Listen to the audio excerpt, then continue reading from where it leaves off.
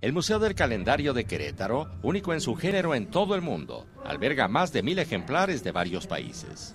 Ubicado en una vieja casona del siglo XVII en el centro histórico de la capital queretana, el recinto se integra por 19 salas, desde los orígenes del tiempo, calendarios de otras culturas, el calendario azteca en tamaño natural y la exposición más grande jamás lograda de Jesús Helguera.